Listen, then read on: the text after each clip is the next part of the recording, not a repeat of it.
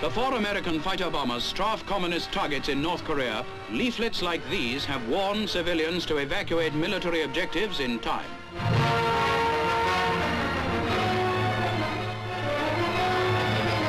Now the aircraft take off, and in a matter of minutes are deep in enemy territory, blasting convoys, concealed tanks and villages where communist troops are billeted.